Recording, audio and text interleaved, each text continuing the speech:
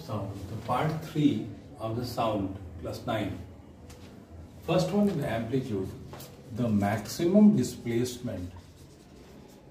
Maximum displacement of vibrating particle from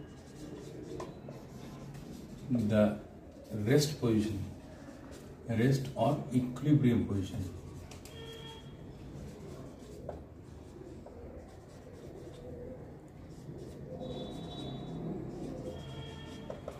Is the amplitude. Say for example this is the rest position or equilibrium position. The particle are here which are oscillating and the particle if the particle goes up then like that. So here the particle is having the maximum displacement from the rest position from the equilibrium position. So this is the amplitude. This is the amplitude.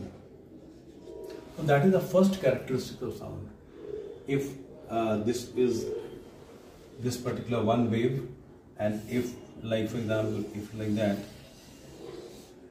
so here this this is your amplitude. This is your amplitude.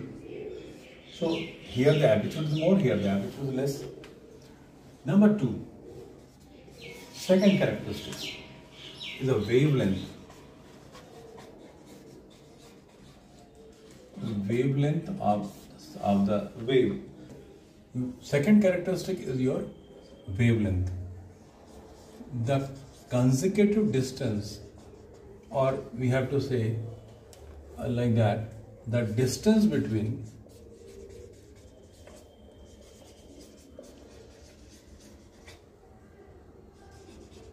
two consecutive reason of high pressure or density high pressure or, or the density or low pressure or density. Low pressure means low density is the wavelength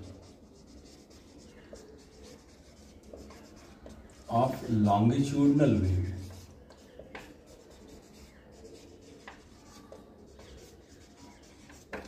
means here the high pressure और the high density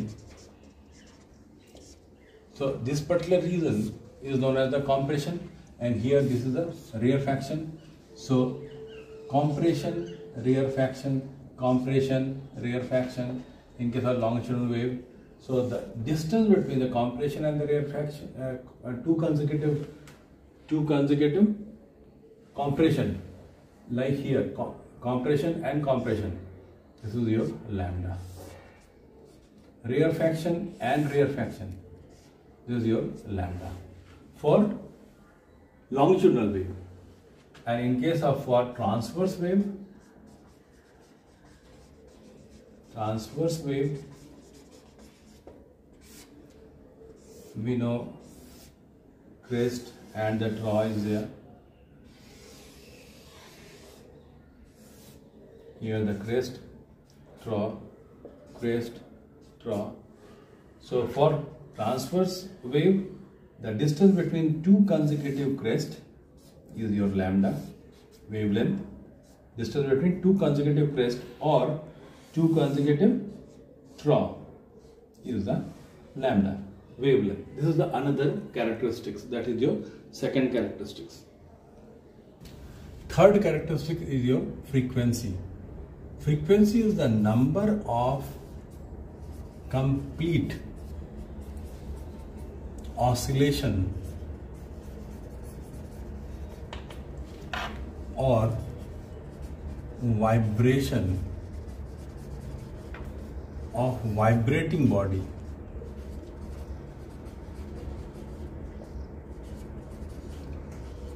in one second.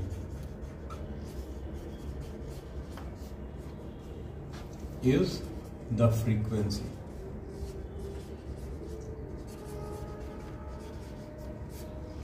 एक second में कितना vibration हो रहा है? कितना oscillation हो रहा है? Number of oscillation that is the frequency frequency denoted by nu और स्मॉल एन मान लेते हैं if a particular object here it vibrates three times in one second so here the frequency is three cycles per second this is known as the hertz hertz is the cycles per second is known as the hertz so hertz is unit of SI unit of frequency that is your three if a particular object is oscillating 4 times or 5 times to 5, 5 cycles per second then 5 hertz like that. This is the another characteristics of the sound. Comes number 4 is your time period. Time period denoted by capital T. Time taken by oscillating object.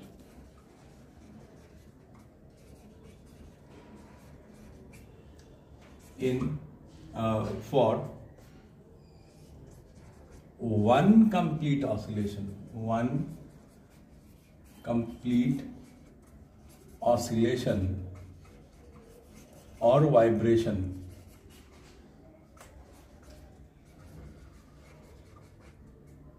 is known as time period. मतलब क्या? एक oscillation में कितना time लगा? यहाँ से यहाँ तक। वन कंप्लीट साइकिल या वन कंप्लीट ऑसिलेशन में। कितना टाइम लगा? यहाँ से यहाँ पर आने में। अगर यहाँ पर ज़ीरो पॉइंट वन सेकेंड लगा तो हम बोलेंगे टाइम पीरियड हो गया zero point one second that is your fourth characteristic of the sound now relation between frequency and the time period what we know number of oscillations number of oscillations completed in t that is a t time period t second is equal to 1 ठीक है therefore हम लोग लिख सकते हैं number of oscillations in one second कितना हो जाएगा? वन बाई टी ये this number of oscillation in one second that is known as the frequency एक सेकेंड में कितना ऑसिलेशन हो रहा है? That is known as the frequency so frequency is equal to one by T that is the relation between frequency and the time period so frequency is the inverse inverse of the time period. If you know the time period, you can easily find the frequency. If you know the time period, you can easily find that frequency. Another characteristic is your pitch or shrillness. This pitch and the shrillness, pitch directly depends on frequency. More is the frequency, more is the pitch of the sound. And uh, it is being observed that voice having high pitch, uh, low pitch sound, uh, having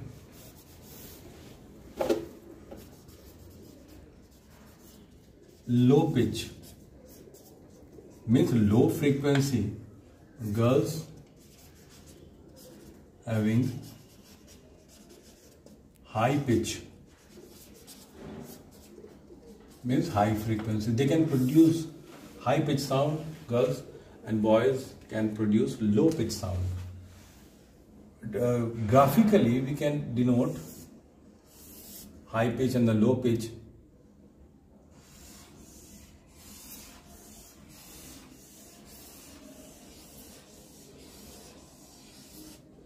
This is one another is your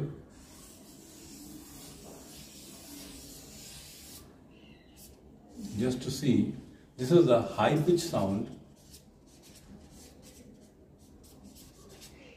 Sound.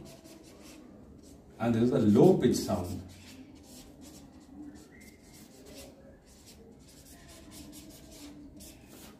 Here the frequency is more.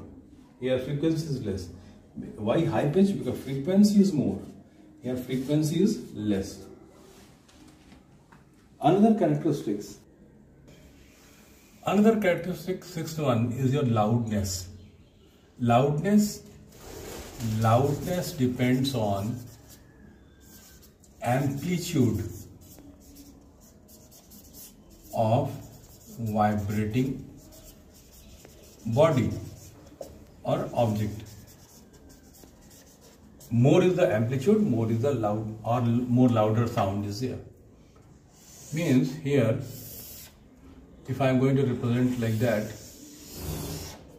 this one, figure one, and another is your figure second, what we are going to observe in both the ways, the here the amplitude, say A1 a1 here amplitude is A2 here amplitude is A2 obviously A2 is greater than A1 so this is more louder more louder this is a less louder so loudness depends on directly proportional to the amplitude of the vibrating body and however it is uh, it this particular loudness depends on person to person. A person can hear uh, more louder or less louder. It is more or less more or less decisive by the person. And number seven is your timbre, Seventh characteristic timbre or quality. This is the unique characteristics if frequent if the pitch and the loudness if the pitch and the loudness are same then also we can distinguish we can distinguish the voice by this quality, this timbre. Especially in case of music, musical sound, we can, uh, in case of musical sound, we can hear, we can identify, we can distinguish which sound comes from the which musical instrument. Now, this timbre or the quality, if the pitch and loudness are same, we can distinguish the voice or the speech if uh, if uh, two persons are sitting just beside a particular room and uh, they are talking and rather shouting, we can identify the voice of the uh, two persons with the help of this quality. Especially in case of musical sound, what happens? Say here the two instruments are there मान लेते हैं, एक है सितार, एक है violin दो instrument है. And the same note note means वो सा, रे गा मा पा, धा, नि same note is playing then what happens if two player sitarist and the violinist is in the next room you can't able to see in a particular position but you can hear the the music which comes out. And they are playing the particular notes sa despite without seeing the instrument we can identify the sound comes from the sitar and the violin. Because of this uh, quality timbre or uh, this characteristics. What happens actually from the musical instrument musical instrument. So uh, a particular note size is uh, coming out. And uh, from the musical instrument what happens? Apart from the main fundamental unit uh, main fundamental frequency which comes out for the SA, in fact, a mixture of frequency also comes out. Mixture of frequency also comes out. That mixture of mixture of frequency is known as the timbre. So that mixture of frequency makes the sound more melodious. Try to understand. In case of, I'm repeating, uh, two, uh, two players, sitarist and the violinist are playing a particular note. So we can identify without seeing the face that uh, which musical instruments are played by the this uh, musician. Because how we can identify that apart from the uh, from the fundamental frequency of the for the sa mixture of frequency also comes out from the musical instrument which makes the sound more melodious. And because this mixture of frequency is known as the timbre or the quality relation between wave speed frequency and the wavelength. Means v is equal to nu lambda this formula how to derive. Let capital T be the time period. Time period of oscillating body.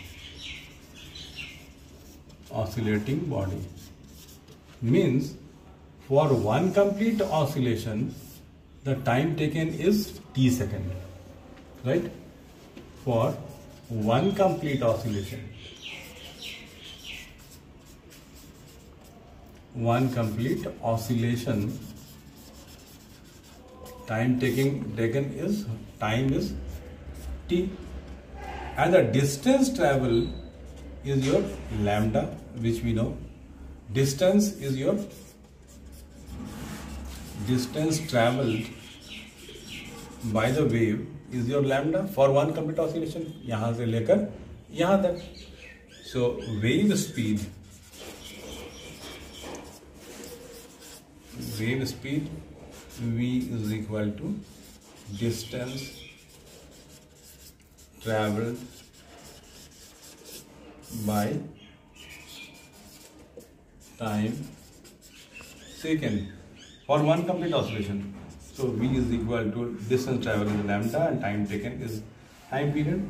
1 by T we know 1 by T is equal to frequency. So nu into lambda. V is equal to nu into lambda. V is equal to nu lambda. You remember that when the wave is traveling from uh, from a particular medium through a medium, its a value V remains same if medium is same if the frequency frequency increases time period uh, frequency increases wavelength decreases. So but the product remains same. So v becomes constant. When it when the wave is passing through a particular medium. Okay